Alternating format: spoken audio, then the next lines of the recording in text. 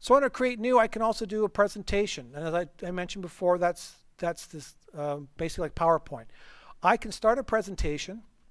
One of the cool things is I can also give you a URL. You can follow along. So everyone phones in.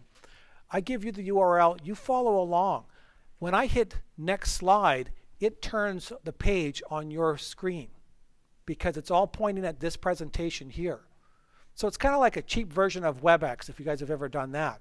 In the sense that I'm going to talk, and I can do this through Google Talk or I can do it through a phone or something like that. But here's a URL and you're going to follow through on the slides.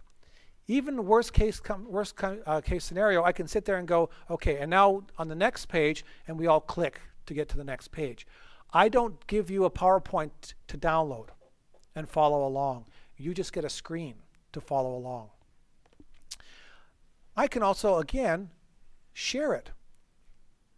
So I'm going to just publish this real quick.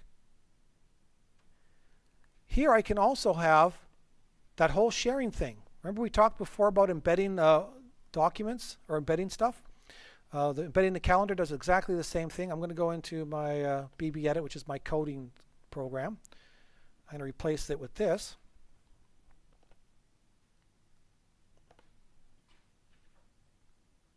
And there's the PowerPoint presentation embedded on my website. Now, this is just the presentation. It's not me controlling it. So you could go in and you just decide, I'm going to click through here. If you hit the play every, I think, five seconds, it goes through the slides. But again, you have the slideshow available to whoever publicly. You don't have to worry about uploading. And the cool thing is, let's say I make a change here. So Google Maps, I want it to be something else. I make a change it automatically updates where this thing's been embedded. So you can constantly have the same file getting updated with your information.